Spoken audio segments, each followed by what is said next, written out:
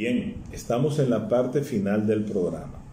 Ahora yo quiero que sigamos nuestro recorrido y pensemos un poquito en la avenida Jacobo Magluta.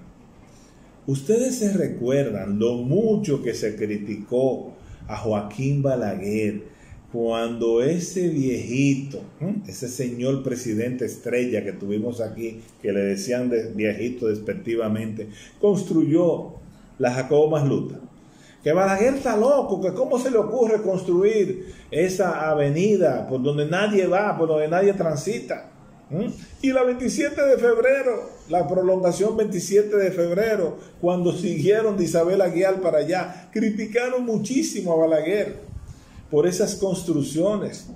Y vayan hoy, vayan hoy hacia el área de la Jacobo Masluta para que ustedes vean. Yo les he dicho y les repito una vez más que para mí, en toda el área del Gran Santo Domingo, en este momento la mejor zona para invertir o para comprar su vivienda es el área de la Jacobo Masluta. Y para muestra basta un botón. Ahí Mall Colina Centro, y ni siquiera están vendiendo los locales comerciales. Estamos hablando de una inversión de miles de millones de dólares. Y oigan bien, los inversionistas de ese proyecto no venden los locales, los alquilan. Cuando ustedes me dicen a mí que si, si ese lugar es bueno para vivir, que si esa zona es buena, yo le digo una pregunta y se la voy a repetir otra vez ahora. ¿Ustedes creen que los constructores que están invirtiendo mil, dos mil, tres mil, cinco mil millones de pesos en un proyecto de apartamentos, los invirtieran si fuera una zona mala? Claro que no, mi gente. O sea, si ellos están invirtiendo esa cantidad de dinero en ese lugar y usted va a comprar un apartamento ahí de 3, 4, 5 millones de pesos, ellos no pueden ser tan locos o tan estúpidos para invertir todo ese dinero en una zona donde no sea buena. ¿Me está entendiendo? Y eso pasa con cualquier zona. O sea, si usted va a comprar una vivienda o si usted quiere invertir para sacarle más dinero a su dinero y usted ve que en esa zona se están desarrollando proyectos habitacionales, se están construyendo muchos edificios, se están construyendo muchos locales comerciales. Usted no tiene que ser un experto en bienes raíces para darse cuenta de que esa zona es excelente. Y ahora yo quiero que nos vayamos hacia, hacia Punta Cana, hacia Bávaro, por ahí. Ustedes recuerdan, mi gente, que eso era multiculebra por todas partes, que cuando uno tenía que uno llegaba a Bávaro antes y a Higüey, esa zona era por entre las cañas, la caña de azúcar, que cuando llovía mucho teníamos que pararnos para que las cañadas nos dejaran pasar. ¿Y qué es eso hoy en día? Eso es algo maravilloso, la zona turística más importante, no de República Dominicana, sino de todo el Caribe. Yo les he puesto cuatro ejemplos a ustedes de lugares que hace unos años nadie se imaginaba que iban a llegar a tener el potencial económico que hoy tienen.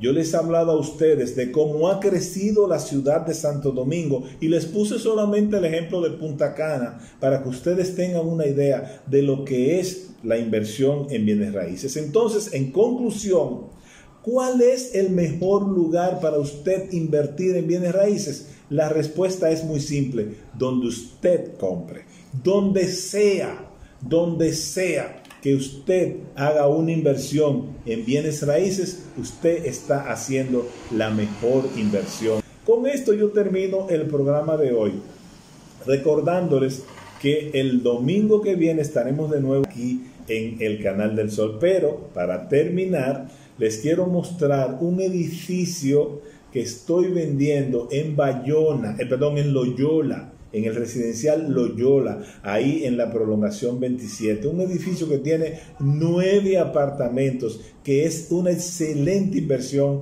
para quien le quiera sacar dinero a su dinero. Gracias de corazón, mi gente, por estar con nosotros en País al Día. Si Dios lo permite, la semana que viene estaremos de vuelta con ustedes. Hasta luego. Hola mi gente, estoy en Santo Domingo Oeste, específicamente en el residencial Loyola.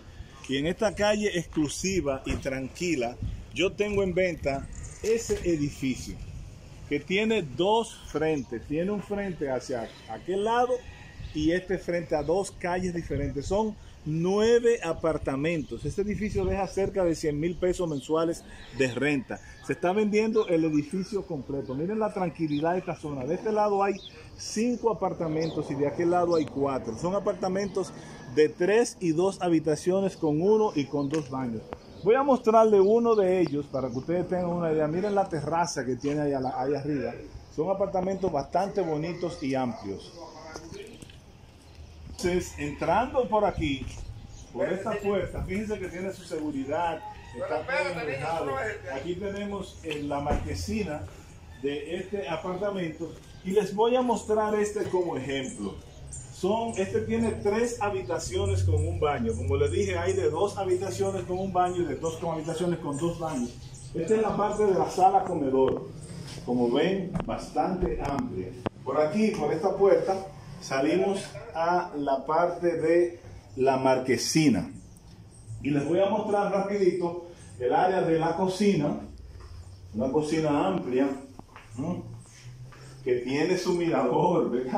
La cocina tiene su propio mirador para las personas que, que vivan aquí. Miren, miren el mirador ahí de la cocina. ¡Wow! ¡Qué chévere! Seguimos para las habitaciones. Tres habitaciones tiene este. Como les dije, son nueve apartamentos de tres y dos habitaciones. Esta es otra habitación que tiene su balcón. Vamos a mostrar el balcón. Esta tiene su balcón. Ven, aquí está el balcón de esta habitación. Por aquí venimos a otra habitación, que es la segunda. Aquí está el baño, que es este que está aquí. Y esta es la otra habitación. Pues como les dije, este, tiene, este edificio tiene nueve apartamentos y ahora les voy a mostrar el otro frente. Este es el otro frente, miren, este es el otro frente del edificio. Como ven, ese edificio completo, que como les dije, tiene nueve apartamentos, yo lo estoy vendiendo. Miren la parte aquí del este frente, tiene son dos frentes y está de venta de oportunidad. Este es este lado y de aquel lado. Así que si le interesa, me llama ahora al 809-974-2565.